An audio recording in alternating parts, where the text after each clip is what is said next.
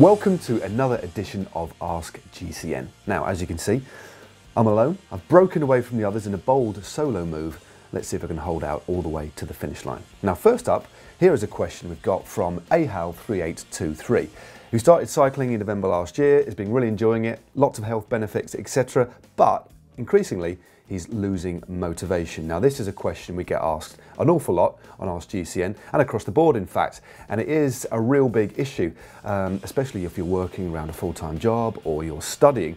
Motivation is massively important if you, if you basically to get the best out of yourself. Um, my tip is always every now and again give yourself a day off away from the bike, but we've got a handy little video here giving you a further five tips on how to motivate yourself. There were many occasions in the past, especially in the depths of winter, when the weather was foul and the warmth of my bed had far more appeal than the harsh outdoors, when the fact I'd actually arranged to meet a friend beforehand gave me that extra bit of motivation to crawl from my bed and onto my bike. Who would cave in first, me or him? In fact, we used to discuss it later on the ride, describing how each of us would lie in bed, waiting, hoping even, for the other to send a text calling off the ride but it never came, and we always did the ride. The startling effect of commitment. Now, next up, we've got this question from Kamaldeep Singh on injuries. Now, Kamaldeep has asked, I'd like to see a video on injury management. Over a month, almost recovered with a knee injury, and I'm not sure how to return back and improve. It's a very, very good question, and we have a video on that exact subject right here. Take a look.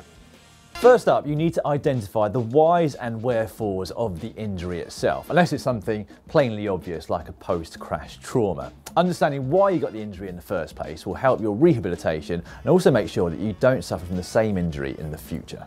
Yeah, if you're coming back from something like tendonitis of the knee, there's generally a root cause, so that needs to be identified and remedied before you start training again. It could be something like a twisted shoe plate or something a little bit more complex like a twisted back. Yeah, and understanding exactly why you've got the injury can also help you psychologically. After all, being stuck at home, unable to ride the bike, can adversely affect your confidence and morale. Time now for the rapid fire round, so let's get cracking. A great one here to start off from Zach Berend. Zach has asked, what would you say would be the greatest technological advance in the history of cycling?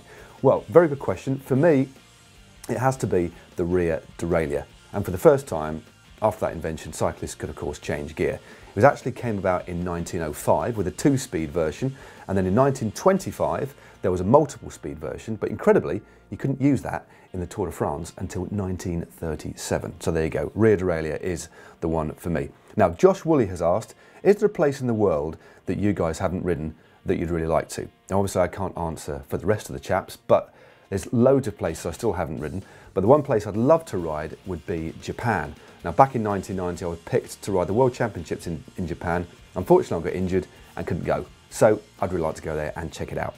Uh, I'd also like to go to South Africa as well because that looks absolutely amazing. Next one up here we have from Kevin Dickerson who asks, as a fairly new cyclist, one of the hardest habits I have had to get away from is stretching before rides.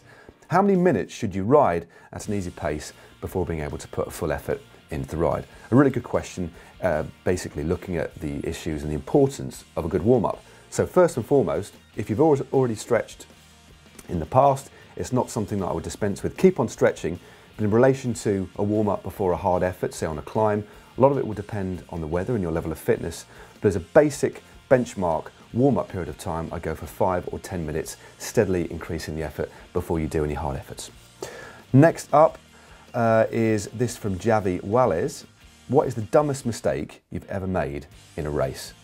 That is a good question. I don't know what Dan's or Simon's or Lasty's are, but mine is this. I actually missed the start of a stage of Tirreno Adriatico because I was in the toilet. That's true. Great question. There you go. Last one here. Have you ever visited Greece for road races? And that's from Tio McHull. Uh, yeah, I rode the Tour of Greece back in 1998 and managed to get third. Very mountainous, absolutely beautiful, great food, just a beautiful country. Whew, now the rapid fire questions are out of the way. Let's just slow the tempo down a little bit. We've got a great question here from Justin Verrigan, who asked, I live in the extremely flat prairies of Canada. Most hills around here only gain between 20 and 60 metres in elevation, it's not much at all. Can you train to go up long steep climbs using flat roads or smaller hills? Well, It's a very, very good question. I mean, you can't replicate long steep climbs without riding on them really, but there are some things you can do. Firstly, it's a bit of a stretch. You could ride on a treadmill. Some pros actually do that, although they're not readily available. And not many people got access to those. And what I used to do sometimes is to elevate my front wheel on my turbo trainer and then ride on a very big gear out of the saddle.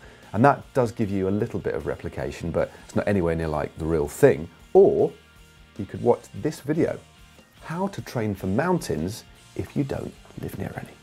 One of the keys to climbing is being able to put out a sustained amount of power for a long period of time without going into the red. So you want to practice this even on the flatter road. So we would recommend spending quite a lot of your training time at something called sweet spot. Now, the definition of sweet spot is around about 10% below your functional threshold power. We told you how to calculate that in one of our previous videos. Next up we have this question from Marshall Taylor who says, I'm currently racing at crit level around 21 miles an hour plus. Lots of people wear skin suits and they have maximum aerodynamic advantage. They seem to be the people who are always winning. Are they essentially buying their speed? Well, the simple answer to that question is yes, you can buy speed. You can buy deep section aero wheels, you can buy an aerodynamic frame, you can also get an aero helmet and aero kit. But a lot of that depends on how deep your pockets are, of course. But the most fundamentally important thing when it comes to barriers for speed is you on a bike and your position. So if you can get comfortable and aero, you will go faster for free. So have a look at this video, how to get more aero on your road bike, and this one should help you. The main way of becoming more aerodynamic is to lower your torso. Now, that obviously depends on how upright you are in the first place, but the principal difference between being in a relaxed position on the tops and in an aggressive position on the drops is simply by lowering your torso. So aim to have your elbows bent to 90 degrees with your forearms horizontal. And that may mean holding onto either the hoods or the drops, depending on how high you've got your handlebars. Well, that wraps up another edition of Ask GC. And Thanks as ever for all of your questions. Just make sure you keep them coming, either in the comment section below, Facebook or Twitter using the hashtag TorqueBack. Now, if you fancy looking at our top five legal cheats, yes, I said legal cheats, how about clicking just up here? And as we're in the midst of the Cobble Classic season, how about clicking just down here for our top 10 facts about the Cobble Classics? And to subscribe to GCN, as ever, it's absolutely free. Please tell your mates, click somewhere in the square, there should be a globe knocking about.